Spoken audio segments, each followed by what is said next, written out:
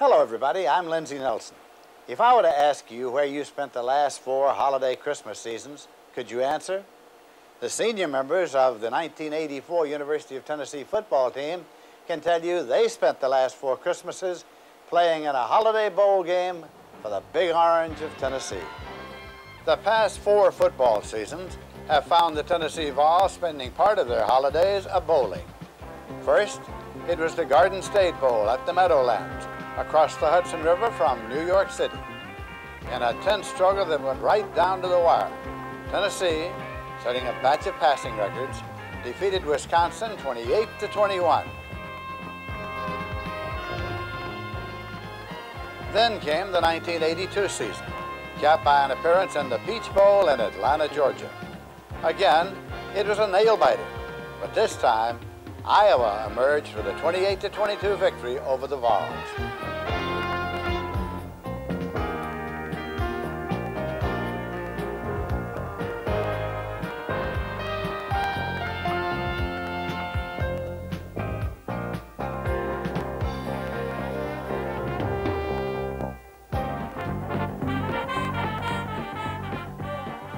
1983, the delights of Central Florida gave the Vols a most enjoyable holiday in the atmosphere of Orlando, Florida. The Florida Citrus Bowl game matched Tennessee against Maryland, and again, the margin of victory was only a touchdown. But this time, Tennessee came out ahead, 30 to 23, as Johnnie Jones set the stage for his All-Star season of 1984. One year later, the unbroken string of consecutive bowl games placed Tennessee again in a festive setting for the holiday season. This time, it was the West Texas town of El Paso, where the Vols enjoyed the matchless hospitality of their Sun Bowl hosts, and then met Maryland in the 50th Sun Bowl game on December 22nd. The Vols get on the scoreboard first in the opening period, as Johnnie Jones caps a 69-yard drive by scoring from the two-yard line.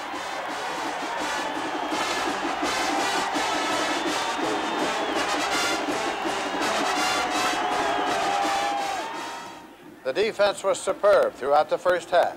Here, quarterback Frank Reich chased from the pocket, fumbles, and Dale Jones, a sophomore All-America, makes the big play in recovering a fumble that leads to a field goal. The score becomes 13 to nothing early in the second quarter. After this pass from Tony Robinson to Johnnie Jones sets up another field goal.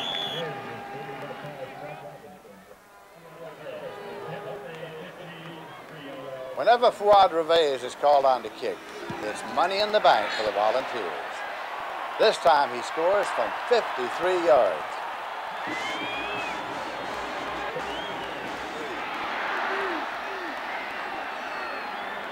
As time runs out in the first half, Tony Robinson adds more to the score.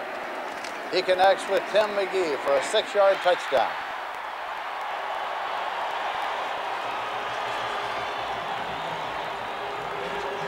Deciding it's time for a two-point conversion, the Vols send McGee across the goal line again. And this time, Robinson hits him with the play that makes the score 21 to nothing. But bright spots in the second half were few and far between for the Tennessee Vols. This is certainly one of the better moments. Panuska, and he's going to bring it out. Going to the oh, far side. The alley is there to the 30, 35, 40, 50, to the 40, to the 30, to the 20. He's to the 10. Touchdown. Pete Panuska's 103-yard kickoff return was not enough as Maryland eked out a 28-27 victory. It was a season of exciting games, of record-setting performances, and of sold-out stadiums. Coach Johnny Majors was happy to have his team playing in the Sun Bowl. We're very happy that we had a chance to go to our fourth consecutive bowl game, to the Sun Bowl, the third oldest bowl game in the United States of America. It was a great trip, rewarding experience for primarily a group of seniors who helped bring pride, unselfishness, and continuous winning attitude to our football program, and as a reward to our football team, a team that played a lot of good football during the course of the 1984 season. I'm very proud of the way our team matured and came along as the season uh, progressed. I think it's a, it's a great example of the unselfishness and the resiliency that our football team has shown, particularly this year. We lost our starting quarterback from last year, and Henderson. We lost three fine defensive linemen. We had a young offensive line, young receiving corps, new quarterbacking, and all of those things were really question marks in our football team. But after a couple of disappointing games early, we came back and made a couple of great comebacks against Alabama and Georgia Tech. We played a lot of young people after having several people hurt on the defensive side of the line of scrimmage, and we really showed maturity, better soundness defensively the last half of the season, and our offensive team became the most productive offensive unit in Tennessee history thanks to the maturity of Robinson, the young offensive lineman, and the young receivers. What you're going to see the next few minutes is the path that took us to the Sun Bowl.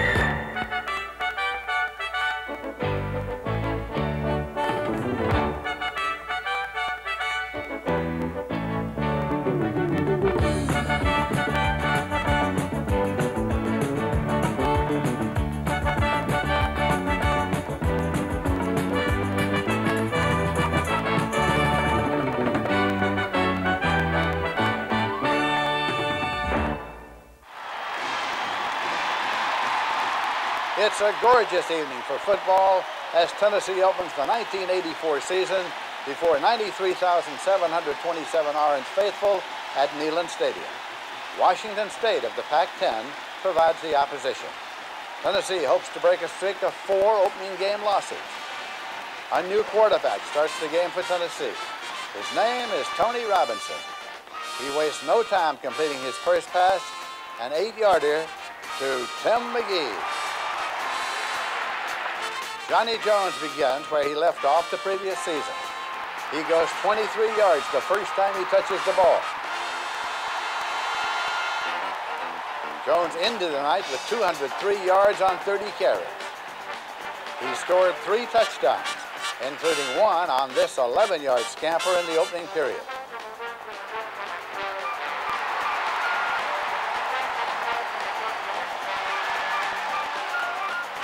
The kicking game has always been at the top of Coach Johnny Major's priorities, and it works to perfection on this night. As sophomore Wesley Pryor brings back a kickoff 53 yards to start Tennessee toward a touchdown.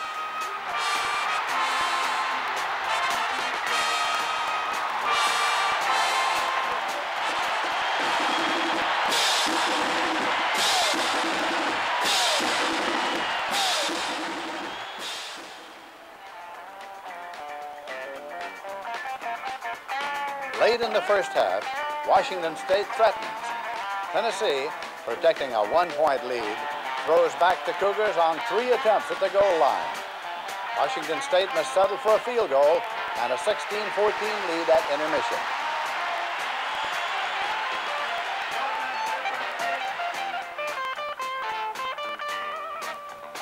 Johnnie Jones goes to work early in the second half to put Tennessee ahead.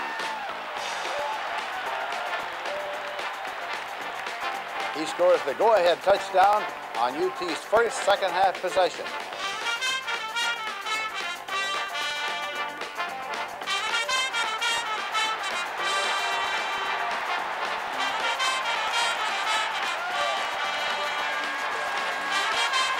A special team provides another big play. Charles Benton snares this bouncing punt and returns it 64 yards.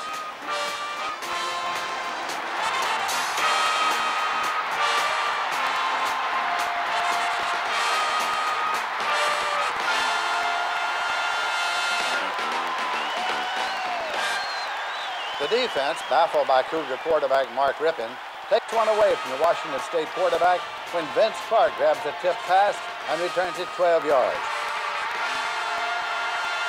Johnnie Jones saves his most brilliant run for the fourth quarter.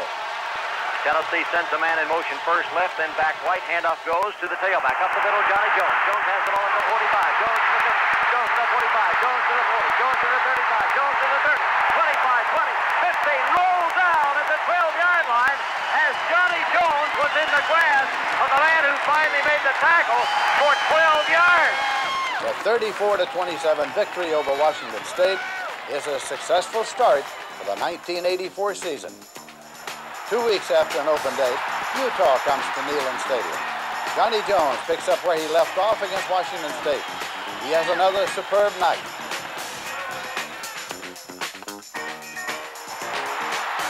On the Vols' first scoring drive, Jones has carries of 24 and 23 yards, and he scores the game's opening touchdown on a 15-yard pass from Tony Robinson.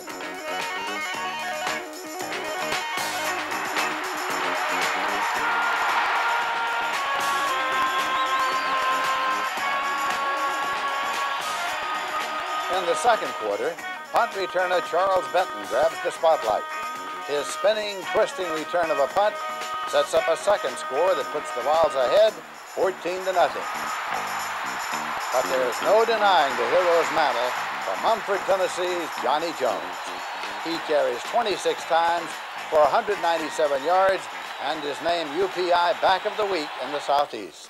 Linebackers dancing. They don't blitz. It's Johnnie Jones through the right side 50. Jones stutter, step back to the 45. Jones. Jones to the 35. Jones to the 30. Jones to the 25. He is tackled at the 24-yard line. Big, big block at the point of attack by William Howard, the fullback.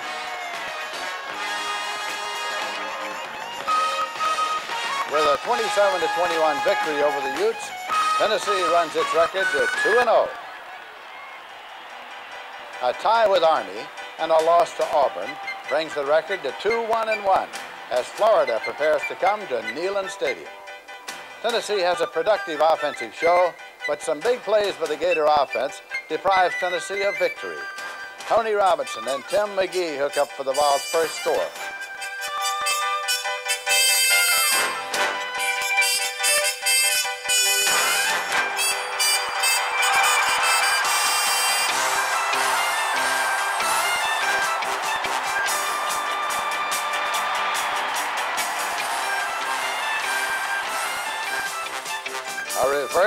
Reverse to speedster Terry McDaniel sets up a field goal, and the Vols trail by 10 at the half.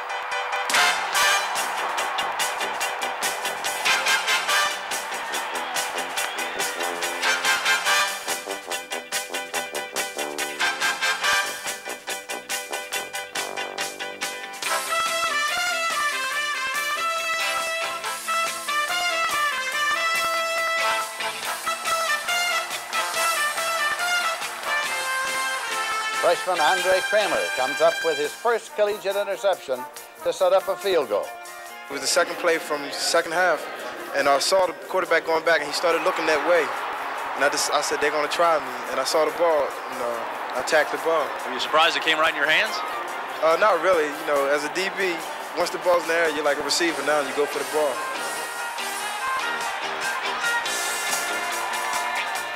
Tennessee is down just seven points when linebacker Carl Zander reaches in and forces a Florida fumble.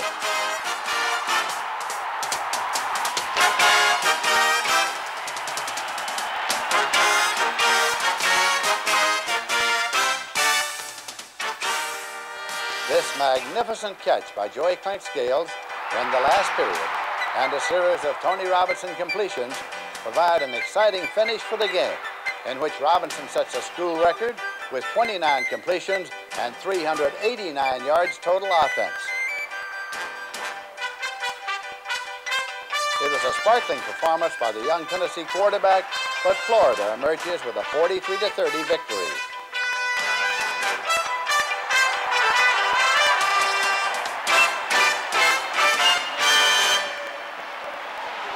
The fourth largest crowd in Neyland Stadium history is on hand for the annual shootout with arch rival Alabama. The Tide jumps out to a 10 0 lead, but Tennessee gets on the scoreboard when Tony Robinson hits Joey Clinkscales for a touchdown.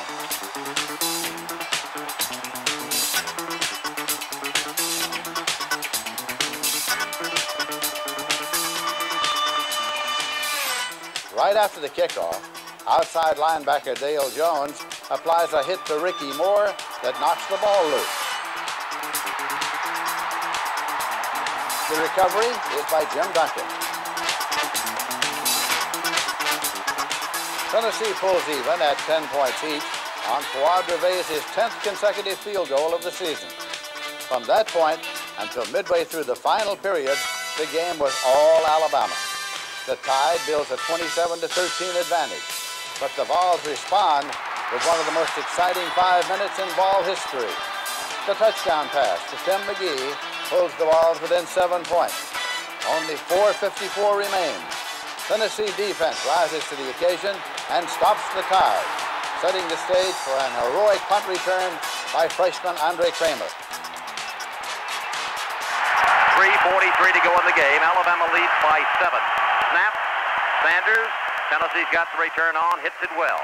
Creamer under the ball at the 45. To the far side and breaks the tackle. To the 50. To the 45. To the 40. To the 35. To the 30. Steps back across the green to the 20. To the 15. He has the ball at the 12-yard line. At which point Tennessee will have it first down and 10 to go. And then it's Johnnie Jones' turn with only about two minutes remaining. On the sidelines, ball coaches confer vigorously. Timeout is called to discuss the play. Now comes the decisive try for two points. Tony Robinson, the quarterback. Tennessee trying for two. Robinson with the ball. Give him two. Tony Robinson keeps and sneaks, and the Volunteers miraculously have taken the lead over Alabama. Tony Robinson goes for the two-point conversion.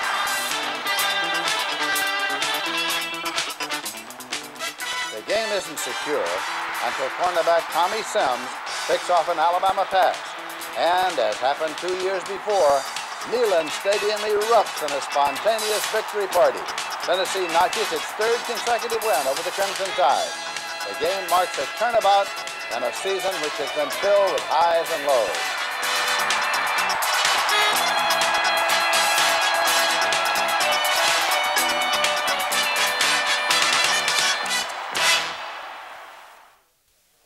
With a 3-2-1 record, Tennessee next goes against traditional opponent Georgia Tech in Atlanta.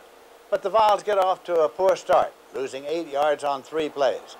But then Georgia Tech is stunned with the old quick kick play.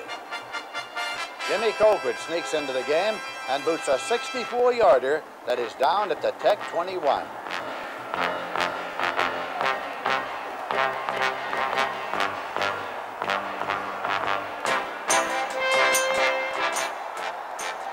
Georgia Tech draws first blood, but Tony Robinson notched the count at seven apiece with a touchdown run early in the second quarter.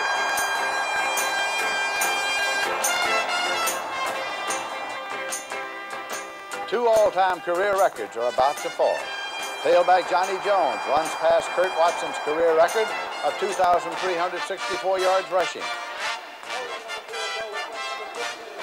This Fuad Reveiz's 32-yard field goal puts the senior from Miami ahead of Gene McEver on UT's all-time scoring list. Still, Tennessee trails 14 to 13 at halftime. The stage is set for another exciting finish. With eight minutes left, Tony Robinson finishes an 87-yard drive with an 11-yard touchdown pass to Vince Carter. Coach Johnny Majors decides to go for two points, and Robinson fires to Charles Wilson in the end zone. Tech came back to score on only two plays, and Tennessee again takes possession with 7.22 remaining and the Vols trailing by a point. Robinson finds Vince Carter on third down and 12 for 15 yards to keep the drive going. Then comes the most crucial play of the game. It's Robinson. Crucial, crucial fourth down play. Robinson looking to throw. Pass is complete. Ball down, breaking free to the 35, to the 30, Smith to the 25, Smith to the 15, Smith to the 10-yard line. It was fourth down and I guess about five or six, and uh, out of everybody could have called on, we called on the tight end, and the thought was just catch the ball and get the first down. And as it turned out, caught the ball and strong safety missed the and I turned it up for a big game.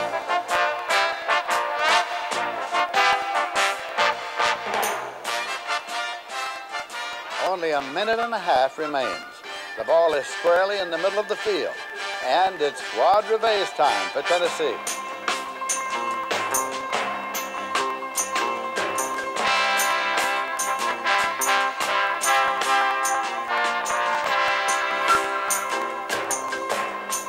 Tennessee posts a thrilling 24-21 victory over the Yellow Jackets. The Vols return to Knoxville to face Memphis State in homecoming two weeks later.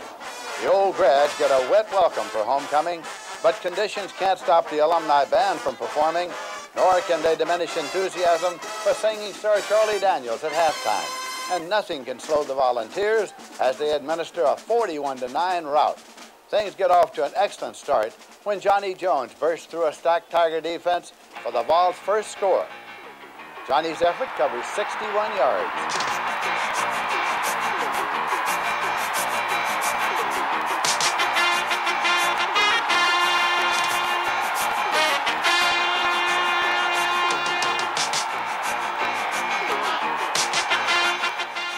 Quarterback Tony Robinson is the offensive star. He passes for 52 yards to Tim McGee.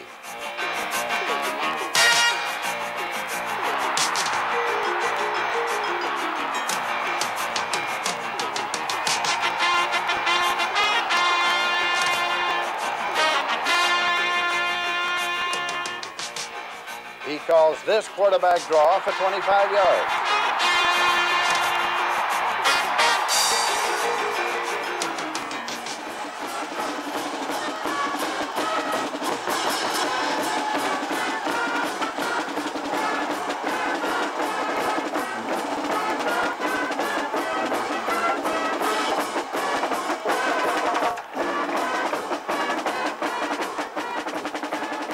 Adding to his virtuoso performance, Robinson passes here for another touchdown.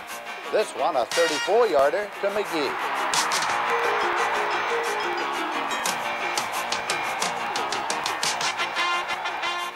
Tennessee opens the second half with a 27-3 lead, and the defense accepts the task of halting Memphis State's efforts at a comeback.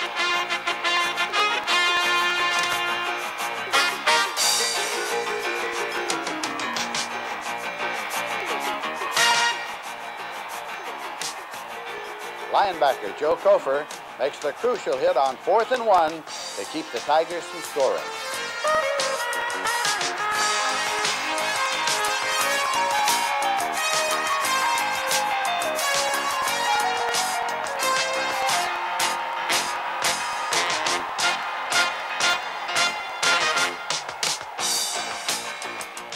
Later, freshman cornerback Andre Creamer intercepts his second pass of the season and makes a 14-yard return to get the ball scoring drive in motion.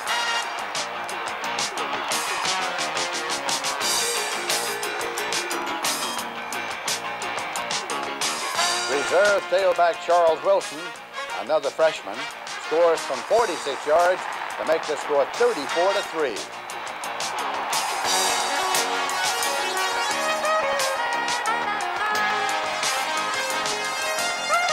Tennessee scoring for the day ends when tight end Jeff Smith catches a 24-yarder from Robinson.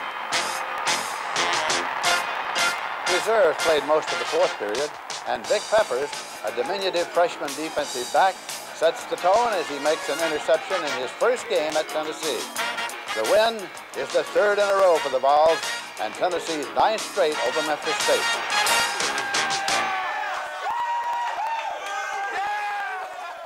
A jubilant Tennessee dressing room celebrates the homecoming victory over Memphis State.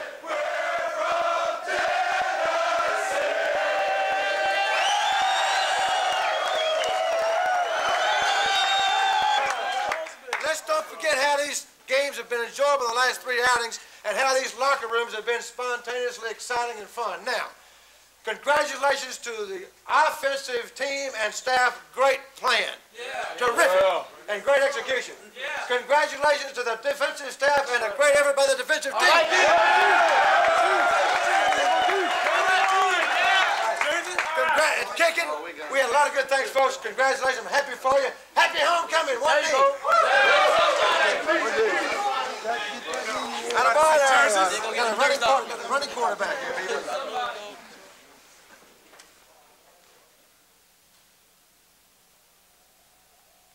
Job in. It's on to Jackson, side of some big orange debacles in the past. There's no jinx to be overcome this time as Tennessee gets its fourth consecutive win at the expense of Ole Miss 41 to 17. Fuad Reveiz connects on an SEC record 15 consecutive field goal to get the rout underway.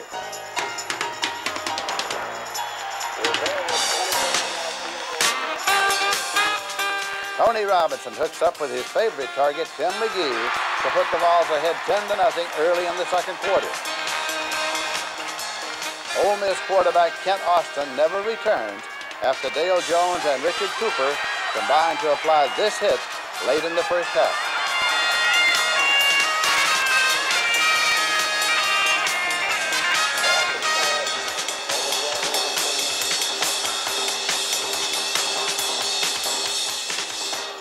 Tennessee blows it wide open in the third quarter. Johnnie Jones goes over the 1,000-yard mark for the season in this game as he caps an 80-yard drive with this touchdown run. Two first-year freshmen teamed up to put the game out of reach at 24 to 3 with this defensive sparkler early in the third period. Linebacker Jesse Messimer blocks the rebel punt. That's cornerback Vic Peppers who picks up the loose ball and scores.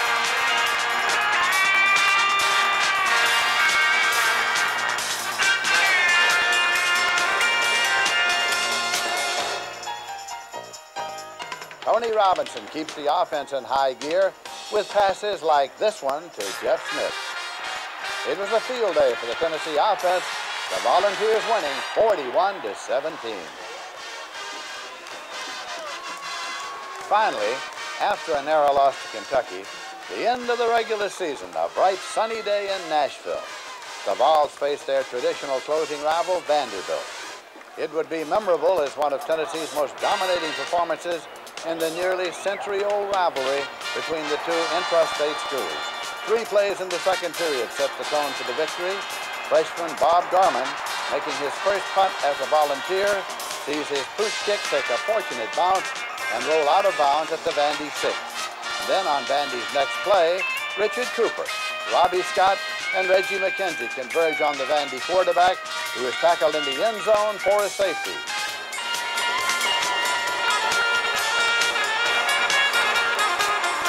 The ball lead is 5 to nothing, but the fireworks have only begun.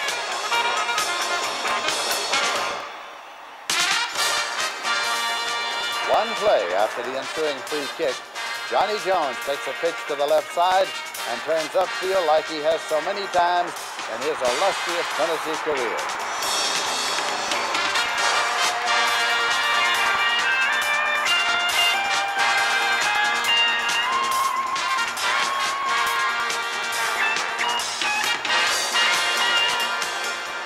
Jones breaks the tackle, spins, and rambles 57 yards into the end zone to put Tennessee ahead 12 to nothing. Later, the senior running back captures his second SEC rushing championship.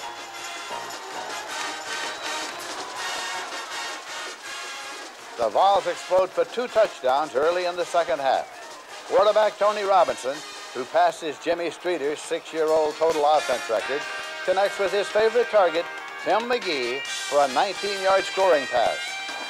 Robinson looking in trouble. Eludes the blitz. Looks downfield into the end zone. Oh! Touchdown, Tennessee! Tim McGee on the catch. Robinson on the great move to free himself, and then he sees the wide open McGee.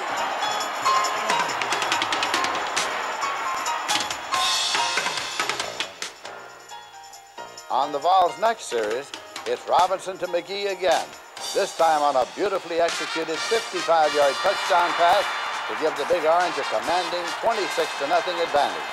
It gives McGee a new single-season pass-catching record. I just threw it up there and let him run up under. I thought it was too short at first, but once he caught the ball, you know, he started sprinting down the field. I was real happy about You that. only threw it 70 yards, you know that. Well, you know, it was just a little something. Uh, hopefully, you know, I can have a lot more of those in the future.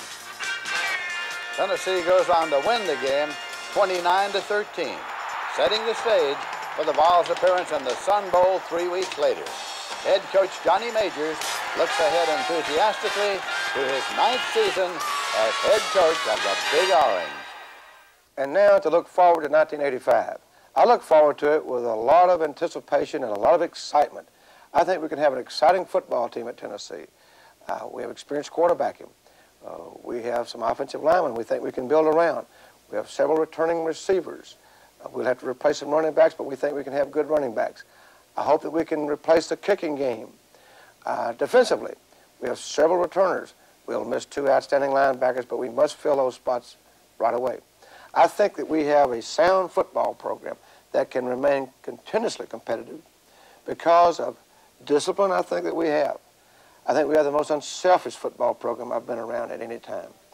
I think we can have an exciting, competitive team in 1985 with a good chance to win on any given Saturday. And we're going to be playing in the most competitive conference in America, the Southeastern Conference. Plus, we'll be playing of the most exciting intersectional schedules in America, starting with the UCLA Bruins on September the 14th, 1985 in Neyland Stadium.